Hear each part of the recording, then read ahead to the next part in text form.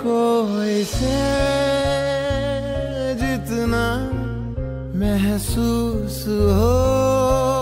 ये उतना दर्द जरा